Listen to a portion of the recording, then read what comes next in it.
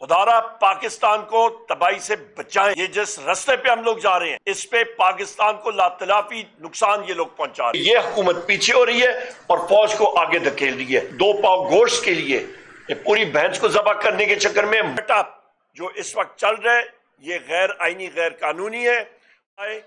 M I I B, special branch اور F I you.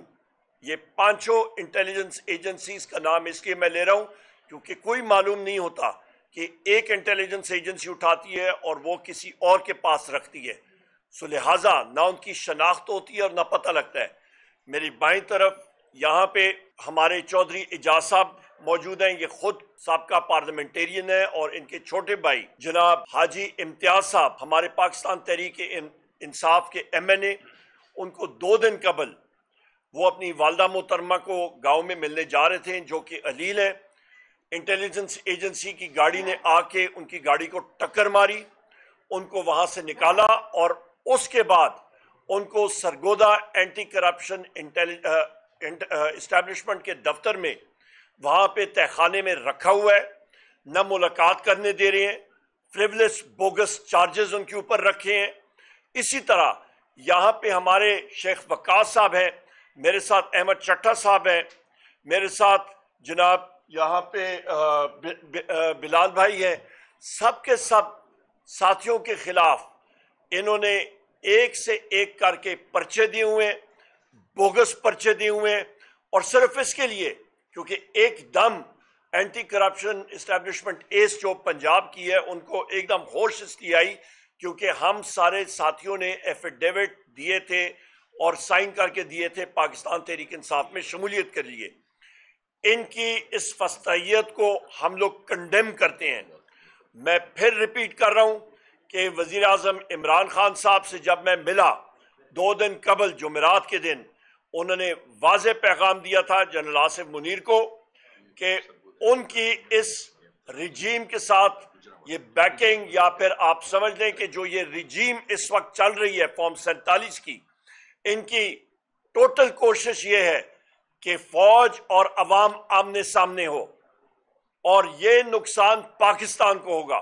Pakistan کو ہو رہا ہے کیونکہ نوے فیصد عوام پاکستان کی وزیر اعظم عمران خان صاحب کے ساتھ کھڑی ہے اور پاکستان تحریک انصاف کے ساتھ کھڑی ہے۔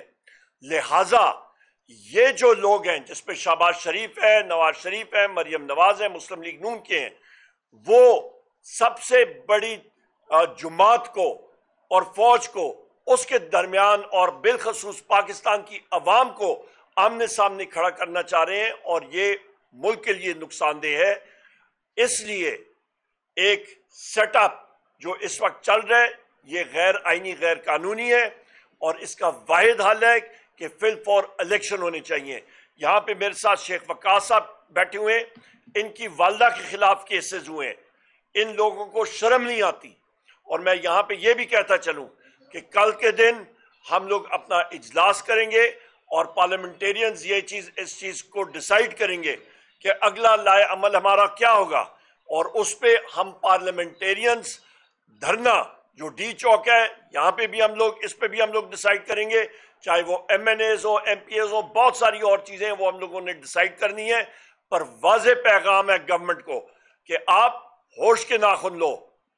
یہ لوگ ان کے پاس مینڈیٹ کچھ نہیں ہے۔ میں یہی بات کرنا چاہ رہا تھا۔ ایک منٹ یہاں پہ ایک اور چیز بات کروں گا۔ ہماری فیس بک کی لیڈ ہے اروبا کومل۔ ان کو اٹھایا گیا ہے کل۔ اس کو ہم لوگ شدید الفاظ میں کنڈیم کرتے ہیں مزامت کرتے ہیں۔ اس کے ساتھ ساتھ روف حسن صاحب اور ہمارے آفس کے اور ساتھی ان کی فزیکل ریمانڈ جو ہے وہ ایکسٹینڈ کی گئی ہے۔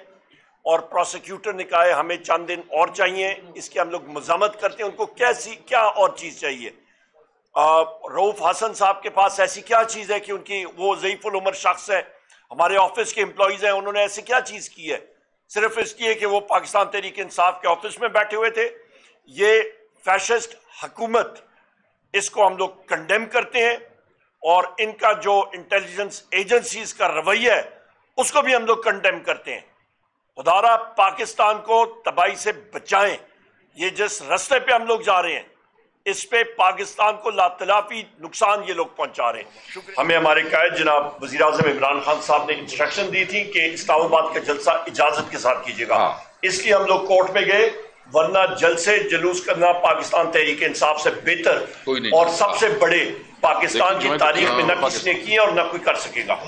کہ میں آپ کو واضح طور پہ بتا دوں کلیئر کٹ۔ سب سے پہلی بات یہ ہے کہ انٹیلیجنس اداروں کا، جس پہ، کیونکہ انٹیلیجنس اداروں کا وہ فیصلس ہوتے ہیں، ان کا کوئی شکل و صورت نظر نہیں آتی۔ جو الیکشن ہوا تھا، اس پہ واضح طور پہ آپ کے انٹیلیجنس ادارے، جس میں I S I M I I B F I U اور اسپیشل برانچ شامل ہے ان کا ٹوٹل عمل دخل تھا۔ اس میں کوئی شک شبے کی بات نہیں ہے۔ فلور آف دا ہاؤس پہ یہ میں کہہ چکا ہوں اور میں میڈیا پہ کہہ چکا ہوں۔ یہ حکومت فارم فورٹی سیون کی یہ جو بنی ہے، یہ ایک آرٹیفیشل کانسٹرکٹ ہے، یہ ایک مصنوعی ہے۔ جس شخص کے یا چودہ ہزار ووٹ ہیں، تو اس کا چودہ ہزار کے ساتھ ایک صفر آخر میں لگا کے اس کو ایک لاکھ چالیس بنا دیا گیا ہے۔ یہ آپ کو بھی معلوم ہے، ساری دنیا کو معلوم ہے۔ نمبر ایک۔ نمبر دو، ایک ملک میں سب سے اہم چیز جو ایک سٹرکچر ہوتا ہے، جو گرفائی سرحدوں کی حفاظت کا وہ افواج ہوتی ہیں۔ اور اس کے ساتھ چیئرمین ماؤ کی ایک میں مثال دیتا ہوں۔ اس نے بتایا، اس نے ایک سوال کیا تھا اور اس کا جواب خود ہی کیا تھا۔ اس نے انگریزی میں میں اس کا بات کرتا ہوں، پھر ترجمہ کرتا ہوں۔ اس نے کہا what is the army the army is the people in uniform کی فوج کیا ہے؟ فوج عوام کو آپ یونیفارم پہنا دیں تو وہ آپ کی فوج ہے۔ لہٰذا سب سے اہم چیز یہ ہے کہ آپ کی پاکستان کی عوام کی دل کی دھڑکن وزیر اعظم عمران خان ہے اور سب سے مقبول پارٹی پاکستان تحریک انصاف ہے۔ یہ حکومت اپنے عزائم، اپنی دو دو پاؤ گوشت کے لیے پوری بہنس کو ذبح کرنے کے چکر میں، ملک کو نقصان دینے کے چکر میں۔ کیوں؟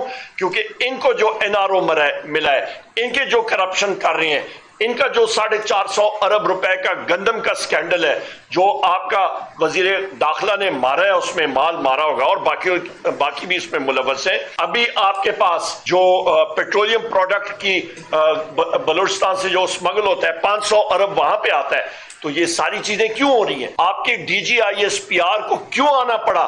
کہ وہ آپ کے فائنینس منسٹر کا رول کرے انٹیریئر کا کرے انفارمیشن منسٹر کا کرے کیونکہ یہ حکومت پیچھے ہو رہی ہے اور فوج کو آگے دھکیل رہی ہے۔ اس سے نقصان کس کا؟ اس کا فوج کے دھارے کو نقصان اس کے مرال کو نقصان اور اس کے ساتھ ساتھ پاکستان کو اور پاکستان کی عوام کو نقصان۔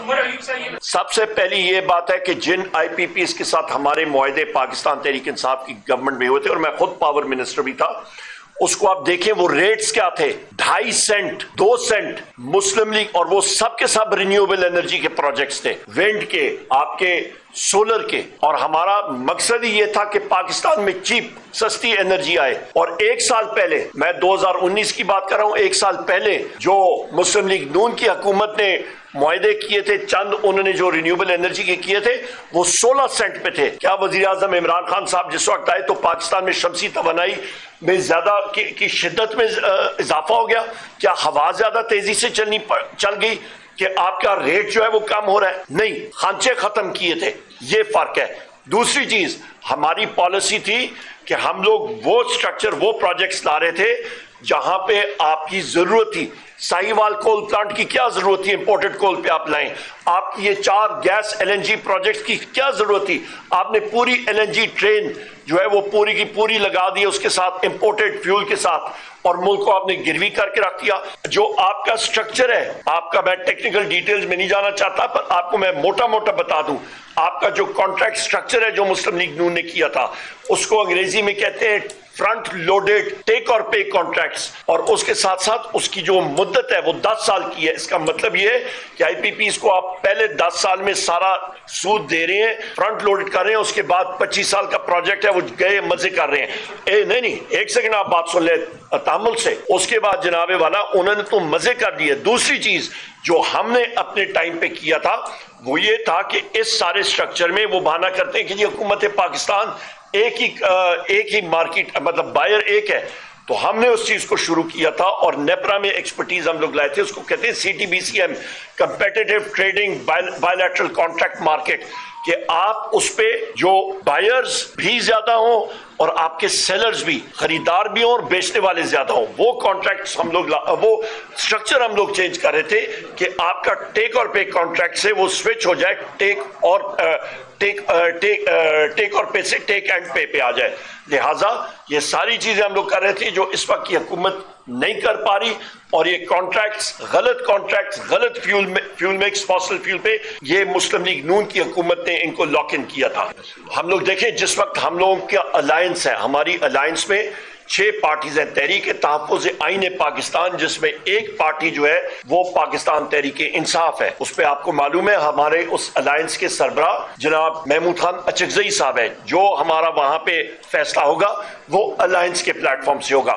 ہم لوگ جماعت اسلامی کو اس وقت، جس وقت سراج الحق صاحب موجود تھے بحثیت پریزیڈنٹ جماعت اسلامی امیر. اس وقت ہم نے جا کے اسد کیسر صاحب بھی موجود تھے ہم لوگ سارے ان سے ملے بھی تھے۔ جو میرا موقف تھا وہ میں نے پریس کو میڈیا کو بڑی کلیئرٹی کے ساتھ بتا دیا ہے۔ جو وزیر اعظم عمران خان صاحب کا میسج تھا کہ ایک ملک میں تین جو آپ نیشنل سیکیورٹی جو پالیسی ہوتی ہے اس پہ آپ دیکھ لیں کہ جغرافائی سرحدوں کو آپ کے جو جز سپورٹ کر رہے ہوتے ہیں، اس پہ آپ کی نمبر ایک کریڈیبل ڈیفنس چاہیے ہوتا ہے، مضبوط دفاع.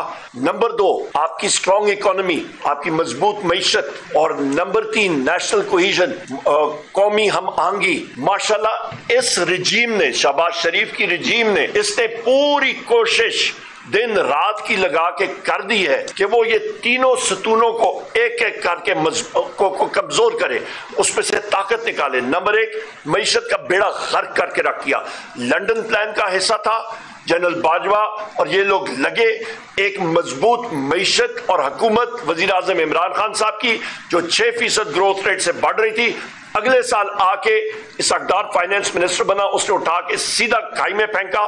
مسلم لیگ نون کی حکومت تھی، معیشت کا بیڑا کار کر کے رکھ دیا۔ نمبر ایک جو آپ کا قومی قومی سلامتی کا، وہاں پہ آپ نے اس کو کمزور کر رکھ کے رکھ دیا۔ دوسرا، قومی امانگی۔ بلوچستان سے دے کے خیبر پختونخوا، پنجاب، سندھ، ہر جگہ پہ افراتفری۔ آزاد کشمیر، گلگت بلتستان۔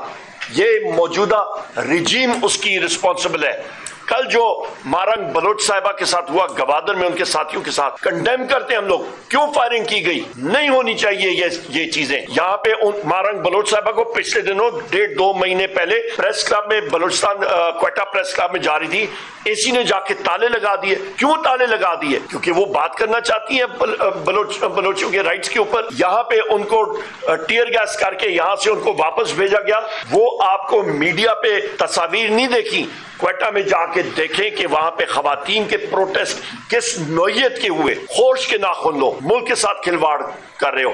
اور تیسری چیز، دونوں چیزیں، قومی ہم آنگی آپ کی متاثر ہوتی ہے، معیشت آپ کی متاثر ہوتی ہے، تیسرا آپ کا کریڈیبل ڈیفنس ایک مضبوط دفاع آپ کے پاس معیشت میں پیسے ہوں گے جیب میں، آپ ٹینک، گولہ بارود اور یہ چیزیں ہوائی جہاز لے سکیں گے۔